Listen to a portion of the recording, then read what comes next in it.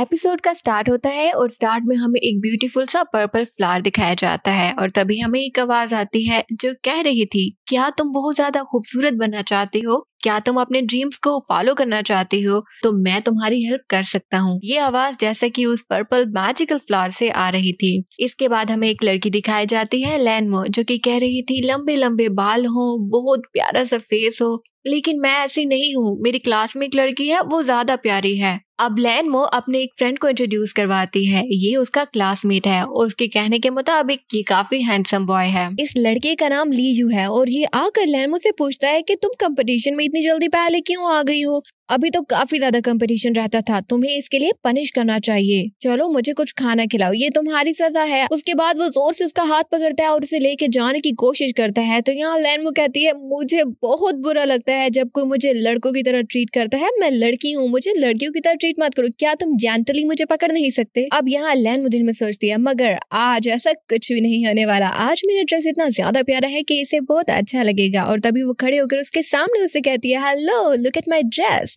मेरा ड्रेस देखो। ली यू हमेशा उस पर हंसता था और उसे लड़कों की तरह ट्रीट कर रहा था, मगर आज लैनमो को लग रहा था कि आज ऐसा कुछ भी नहीं होने वाला। मगर ली यू जैसे उसका ड्रेस दिखता है, वो बहुत ज़्यादा हैरान हो जाता है और फिर हंसने लगता है। यानी कि फिर से वही सब कुछ। अब वो हँसते हँसते उसे कहता है, अरे, ये तुमने क्या पहन लिया? इस वजह से तुम वापस आ गई थी कंपटीशन से। प्लीज़ ऐसा ड्रेस दोबारा मत पहना। और यहाँ लैनमो बहुत ज़्यादा परेशान हो जाती है कि आज फिर से वही कोई मुझे प्यारा भी नहीं कहता। एक्चुअली में लैनमो खुद को एक्सेप्ट ही नहीं कर पा रही उसे खुद को एक्सेप्ट करना चाहिए। वो जैसी है, वो वैसी ही प्यारी है। उसका सर चकराने लगता है और यहाँ लीजू उसका मज़ाक बना रहा है। प्लीज़ दोबारा ऐसे ड्रेस मत पहना। ये ड्रेस पहनकर कभी भी किसके सामने मत जाना। ये ड्रेस लड़कियों के लिए डिज़ाइन किया गया है, लड़कों के लिए नहीं। अब इसकी ये बात सुनकर लैनो बहुत ज़्यादा गुस्से में आ जाती है और उसे ज़ोर का पंच मारती है और इसी सब में उसका ड्रेस फट जाता है। लैनमो बहुत ज़्यादा गुस्से में आ जाती है। अब नेक्स्ट सीन में दिखाया जाता है जहाँ वो अपने घर वापस जा रही होती है वो बहुत परेशान होती है कि आज का दिन भी अच्छा नहीं था, सबने मेरा मज़ाक बनाया। और तभी वहाँ पर बारिश स्टार्ट हो जाती है। बारिश बहुत ज़्यादा तेज थी, अब इसे किसी जगह पर रुकना था, जहाँ पर बारिश ना हो, इसे पना लेनी थी। कहीं ना कहीं पे अब वहीं पे से एक शॉप नज़र आती है।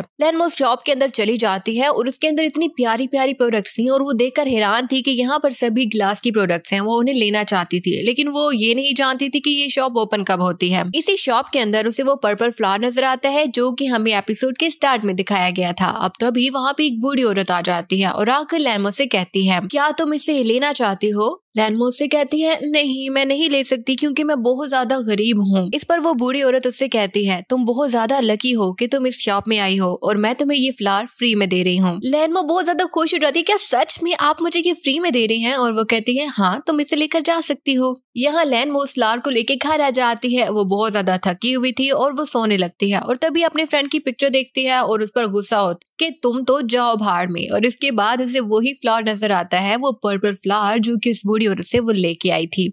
ये फ्लावर लेकर लैन वो एक मिरर के सामने खड़ी हो जाती है और खुद को देखती है हम्म, तुम इतनी ज़्यादा प्यारी नहीं हो। इसके बाद लैनमो वो फ्लावर अपने बालों में लगाती है और कहती है इसे लगाते हुए मैं काफ़ी ज़्यादा नर्वस हूँ लेकिन जैसे ही वो उस फ्लावर को अपने बालों में लगाती है तभी एक मिस्टीरियस किस्म का मैजिक हो जाता है और लैनमो एक बहुत ही प्यारी सी लड़की में चेंज हो जाती है। यहाँ लैनमो खुद को देखकर बहुत ज़्यादा हैरान थी ये मैं ही हूँ? इतनी प्यारी लड़की बन गई हूँ मैं। और वो हैरानी में ही नीचे भी गिर जाती है। अब नेक्स्ट डे लैनमो उसे शॉप पे वापस जाती है जहाँ पर वो बूढ़ी औरत थी। वो उससे पूछना चाहती थी कि ये फ्लोर ऐसा कैसे है? इसने मुझे बिल्कुल ही चेंज कर दिया है। लेकिन जैसे ही वो उस शॉप पे जाती है तो वहाँ पर शॉप नहीं थी, बल्कि एक घर था, जिसकी खिड़कियाँ भी टूटी हुई थी और वो समझ नहीं आ रहा था उसे कि यहाँ पर तो कल शॉप थी, वो कहाँ गई? तभी उसे लीजू नज़र आता है और वो उसके पास जाती है। तुम शॉपिंग के लिए मुझे अपने साथ लेकर नहीं गए। और यहाँ लीजू तो उसे पहचानता ही नहीं और उससे कहता है, क्या तुम तो मुझसे बात कर रही हो? और फिर लैनमो को समझ आ जाती है कि क्योंकि मेरी अपीयरेंस बहुत ज़्यादा चेंज हो चुकी है, इसीलिए ये मुझे पहचान नहीं पा रहा। तो लैनमो उसे जवाब देती है हाँ तुम मुझे नहीं जानते, मैं तुम्हें नहीं जानती, मगर क्योंकि तुम स्कूल में बहुत मशहूर हो, इसलिए मैं तुमसे बात करने आई हूँ। और दिल ही दिल में उस पर बहुत ज़्यादा गुस्सा हो रही थी और सोच रही थी कि ये मुझे बता क्यों नहीं रहा कि एक प्यारी सी लड़की को देखकर इसके क्या एक्सप्रेशन है। फिर लैन लीजू से कहती है, क्या तुम मेरे साथ डिनर पर जाओगे? वहाँ लीजू कोई आंसर नहीं कर रहा होता और ये गुस्से हो रही है तो जल्दी बताओ, क्या तुम एक प्यारी लड़की के साथ डिनर पे जाओगे? और फिर लीजू हाँ कर देता है कि ठीक है, मैं तुम्हारे साथ डिनर पे जाऊँगा। लैन मो दिल में बहुत ज़्यादा खुश हो जाती है और अब ये दोनों डिनर पर चले जाते हैं। यहाँ जब खाना आता है तो लैन मो जल्दी से खाना खाने लगती है की मुझे बहुत ज़्यादा भूख लग रही है और उसकी ये बात देखकर ली यू हंसने लगता है। अब लैनमो से पूछती है, तुम्हें हँसी किस बात पे आ रही है? तो वो कहता है, हँसी मुझे इसलिए आ रही है कि मेरा भाई है, उसका नाम लैनमो है, वो बिल्कुल तुम्हारी तरह खाना खाता है। यहाँ लैनमो फिर से गुस्सा हो जाती है ये मुझे भाई क्यों बुलाता है? और बहुत ज़्यादा सैड भी और उससे कहती है, ठीक है, कोई बात नहीं। और फिर ये दोनों घर वापस जाने लगते हैं। रास्ते में लैनमो को लीयू की बातें याद आ रही थी, जैसे की लीयू ने उससे कहा था की ये ड्रेस तुम पे सूट नहीं कर रहा। अरे, ये ड्रेस तो लड़कों के लिए बना है। और इसके बाद लैन यू ली यू से कहती है, क्या मैं तुमसे फ्रेंडशिप कर सकती हूँ? मुझे तुम बहुत ज़्यादा अच्छे लगते हो। तुमने जिस कंपटीशन में भी पार्ट लिया है, मैंने हर कंपटीशन देखा है। ये सुनकर ली यू काफ़ी हैरान हो जाता है और फिर उससे कहता है हाँ हम दोस्त बन सकते हैं। और इसके बाद लैनमो उससे कहती है एक्चुअली में एक मसला भी है। क्या तुम एक फेवर कर सकते हो?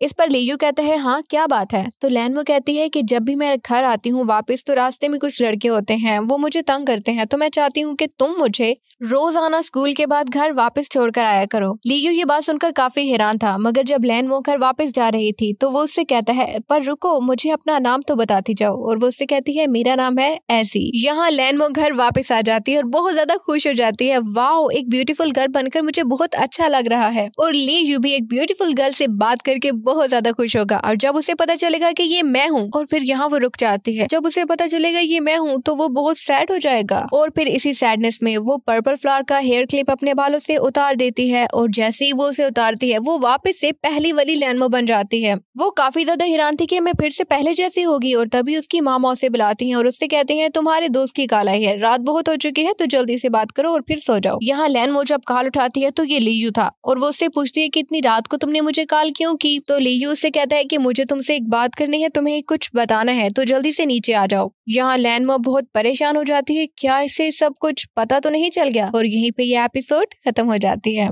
अब नेक्स्ट एपिसोड में हमें दिखाया जाता है कि ली यू से बताता है कि मुझे एक लड़की मिली थी और वो मुझसे कह रही थी कि क्या तुम मुझे रोज घर छोड़कर आओगे? तो लैनमो कहती है कि इतनी रात को तुमने मुझे बस ये कहने के लिए बुलाया है। तो वो कहता है हाँ मैं तुमसे पूछना चाहता था कि तुम्हें सबसे कोई मसला तो नहीं होगा? तो लैनमो कहती है, अरे नहीं, मुझे इससे कोई मसला नहीं होगा। तो ली यू उसकी बात सुनकर काफ़ी ज़्यादा खुश हो जाता है और उसे बाय कहकर वहाँ से चला जाता है। अब नेक्स्ट से हमें दिखाया जाता है की छुट्टी होने वाली होती है और यहाँ लैनमो भाग रही होती है ली यू को ढूंढ रही होती है कि वो पैकिंग कर रहा होगा, घर जाने वाला होगा। मुझे जल्दी से उसके पास जाना है। इसके बाद वो एक रूम में जाती है और वहाँ जाकर वो अपना मैजिकल क्लिप दोबारा पहनती है, जिससे वो दोबारा से एक प्यारी सी लड़की में चेंज हो जाती है। इस रूम में से बहुत ज़्यादा लाइट बाहर आती है और यहाँ लैन वो जब वापस उसी प्यारी सी लड़की में चेंज होकर बाहर आती है तो सब लोग उसे देख हैरान हो जाते हैं, ये कितनी प्यारी लड़की है। वाह इसके बाल कितने प्यारे हैं। वहीं पर एक लड़का और एक लड़की खड़े थे, जिसके पास लैनमो जाकर उनसे कहती है, क्या तुम मेरे लिए लीजू को अंदर से बुला सकते हो? और वो जाते हैं और जाकर ली यू से कहते हैं कि, तुम्हें एक लड़की मिलने आई है। जब ली यू विंडो में से लैंडमो को पीछे से देखता है तो वो समझ जाता है, ये एजी आई है। और जैसा की उसने एजी से प्रॉमिस किया था, उसे आज उसे घर जाते हुए ड्रॉप करना था। अब जब ये दोनों घर वापस जा रहे होते हैं तो लैंडमो बहुत ज़्यादा खुश होती है, वाओ, मैं आज इसके साथ घर जाते हुए